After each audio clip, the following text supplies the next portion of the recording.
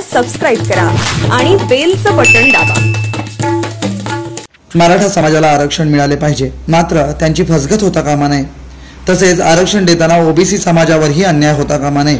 अशी भूमिका राष्ट्रवादी काँग्रेसचे ज्येष्ठ नेते छगन भुजबळ यांनी विधानभवनाबाहेर माध्यमांशी बोलताना मांडली. ते स्वीकारल्या. नंतर कोर्टात असं सांगण्यात आलं थोड्या वेळाने की आम्ही अहवाल नाही शिफारसी स्वीकारलेल्या आहे खरं त्या अहवालावरच शिफारशी ज्या आहेत अवलंबून असतात.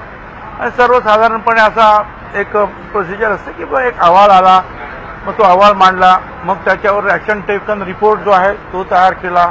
आणि मग त्याचं जे आहे कायद्यात रूपांतर केलं वगैरे वगैरे असे वेगवेगळे त्याच्यामध्ये मार्ग असतात.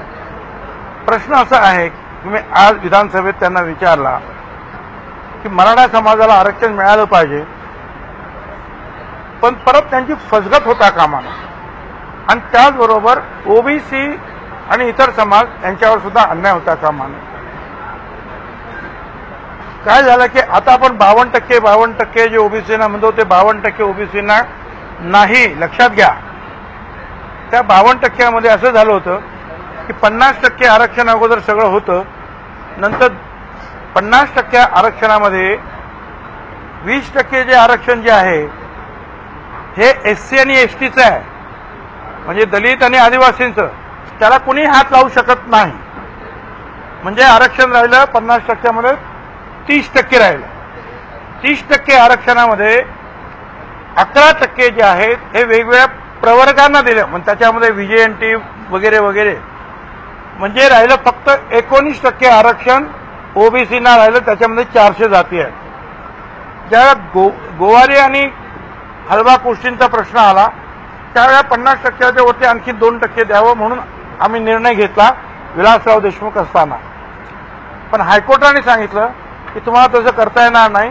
तुम्हाला आता हे द्यायचं आहे ना दोन टक्के हे पन्नास टक्क्यातच द्या- द्यायला पाहिजे. म्हणजे मग ते एकोणीस टक्क्यांमधून परत दोन टक्के जे आहेत ते तिकडे गेले. आता आरक्षण ओबीसीचं फक्त सतरा टक्के आहेत आणि त्याच्यामध्ये चाळीस चारशे जाती आहेत. मी त्यांना प्रश्न विचारला की तुम्ही आता ठरवलं की एसी बी सी जे आहे त्याखाली तुम्ही देणार. खरं म्हणजे घटनेमध्ये ओबीसी हा शब्द नाही आहे. Socially educationally backward class SE B C हा शब्द आहे. तोच ओबीसी आपण शॉर्ट फॉर्म म्हणतो. की आपण मराठा समाजाला द्यायचं ठरवलं काय दहा पंधरा टक्के तुम्ही काय देणार? आम्हाला काय कल्पना कारण तुम्ही सांगतच नाही काही. पण द्यायचं ठरवलं म्हणजे तो पन्नास टक्केच्या वरती जो ज्याला आता आपण म्हणतो बावन्न टक्के बावन्न बावन्न टक्क्याच्या वरती तुम्ही देणार. आता उद्या कोर्टामध्ये समजा तुम्ही त्यांना पंधरा टक्के दिलं का दहा टक्के दिलं बावन्न टक्के म्हणजे, म्हणजे साठ पासष्ट टक्के झालं. उद्या कोर्टाने सांगितलं की बा हे एसीबीसी आहेत ना पण हे पन्नास टक्क्याच्या वरती तुम्हाला देता येणार ना आणि गोवारीसारखाच प्रश्न जर तिथं उभा राहिला तर परत जर समजा मराठा समाजाला तुम्ही सोळा टक्के आरक्षण दिलं असेल बावन्न टक्क्याच्या वरती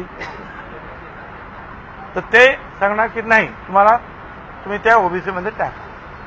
आता सतरा टक्के ओबीसीचं आरक्षण शिल्लक आहे त्याच्यामध्ये ते सोळा टक्के टाकलं तर काय परिस्थिती होणार आहे चारशे जातींची?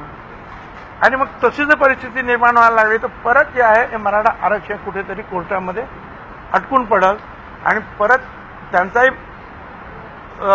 भ्रमनिराश होणार ओबीसींचा होणार आणि राज्यामध्ये जे आहे गावागावामध्ये नाही नाही ते जे आपापसामध्ये जे आहेत एक प्रकारचं जे आहे मनदुख जे आहे समाजा समाजामध्ये तयार होईल.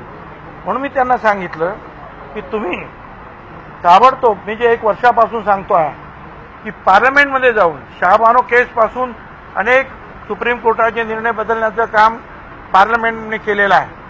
आता सुद्धा तुम्ही जाऊन ती जी काही पन्नास टक्क्याचं जे सिलिंग टाकलेलं आहे जे सिलिंग घटनेमध्ये नाही ते सुप्रीम कोर्टानं टाकलेलं की पन्नास टक्क्याच्या वरती आरक्षण देऊ नका. ते तुम्ही पार्लमेंटमध्ये जा आणि पन्नास टक्क्याच्या ऐवजी पासष्ट टक्के सत्तर टक्के हे ताबडतोब करून घ्या. त्याला कोणी विरोध करणार नाही. कारण तसं जर झालं आणि असं वाढवलं तर गुजरातमधला प्रश्न संपेल. पाटीदार गुजर समाजाचा प्रश्न सुटेल जाट समाजाचा प्रश्न सुटेल मराठा समाजांचा प्रश्न सुटेल आणि हा सहज होण्यासारखा आहे. फक्त इच्छाशक्ती पाहिजे. नाही पेक्षा जे आहे हा खेळ जे आहे हा सारखा सुरू राहणार आहे. तुम्ही सगळं सत्य बाहेर येत नाही आहे अहवाल मांडित नाही आहात आणि जे आहे जे सांगता ते पुढे काय होणार आहे? कारण पाठिंबाचा इतिहास दोन टक्क्याचा पन्नासशे बावन केल्यानंतर काय झालं? याचा अनुभव या सरकारला महाराष्ट्र राज्याला आहे. त्यामुळे असा काही जो आहे मराठा समाजाचा एवढा आक्रोश आहे त्या आक्रोशाला जे आहे परत एकदा आपण फसवून काही करू नये किंवा ओबीसीला सुद्धा अंधारात ठेवू नये. योग्य निर्णय कसा घेणार हे आपण ठरवलं पाहिजे आणि ते सांगितलं गेलं पाहिजे.